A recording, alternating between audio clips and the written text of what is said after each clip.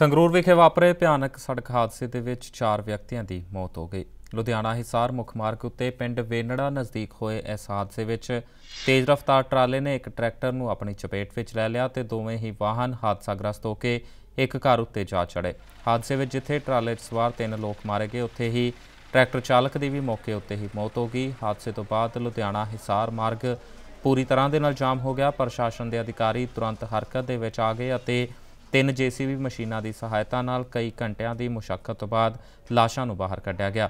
ਇਸ ਤੋਂ ਬਾਅਦ ਸੜਕ ਤੋਂ ਮਲਬੇ ਨੂੰ ਵੀ ਹਟਾ ਦਿੱਤਾ ਗਿਆ।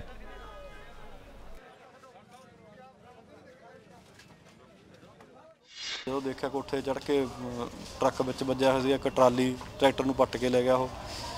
ਤੇ ਇਧਰ ਆਪਣਾ ਸਾਡਰ ਮੂਰਲਾ ਬਚਾ ਕੇ ਆਪਣੀ ਗੱਡੀ ਵੱਜੀ।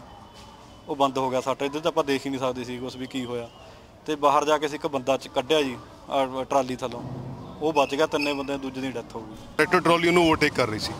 ਤੇ ਸ਼ਾਇਦ ਇਹ ਜਿਹੜਾ ਘੋੜੇ ਵਾਲਾ ਸੀਗਾ ਇਹਦੀ ਅੱਖ ਲੱਗ ਗਈ ਤੇ ਇਹਨੇ ਟਰੈਕਟਰ ਟਰਾਲੀ ਨੂੰ ਨਾਲ ਹੀ ਘੜੀਸ ਕੇ ਅੱਗੇ ਜਿਹੜਾ ਸਾਬਕਾ ਸਰਪੰਚ ਦੇ ਘਰ ਟਰਾਲੀ ਗਲੀ 'ਚ ਵੜ ਗਈ ਤੇ ਜਿਹੜਾ ਉਹਦਾ ਟਰਾਲਾ ਸੀ ਉਹ ਜਾ ਕੇ ਸਰਪੰਚ ਦੇ ਘਰੇ ਜਾ ਵੜਿਆ। ਜਿਹੜੇ ਬੱਚੇ ਨੇ ਜਿਹੜੇ ਬੰਦੇ ਨੇ ਇੰਜਰਡ ਇਹਨਾਂ ਨੂੰ ਹਜੇ ਅਸੀਂ ਲੈ ਕੇ ਗਏ ਆ ਡਾਕਟਰ ਡਾਕਟਰ ਉਹਦਾ ਇਲਾਜ ਕਰ ਰਹੇ ਨੇ। ਖਬਰਾਂ ਦੀ ਦੁਨੀਆ ਵਿੱਚ ਆਓ। ਸਾਡੇ ਨਾਲ ਕਦੇ ਵੀ ਕਿਤੇ ਵੀ ਜੁੜੋ। ਆਪਾਂ ਮਿਲਾਂਗੇ ਫੇਸਬੁੱਕ ਤੇ। ਅਸੀਂ ਦਿਖਾਂਗੇ YouTube ਤੇ।